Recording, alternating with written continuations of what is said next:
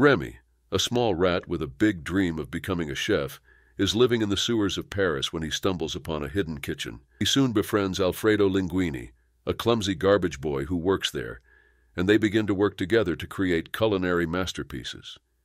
One day, Remy and Alfredo are tasked with making a souffle for a food critic, but their plans are foiled by a saboteur who wants to see them fail.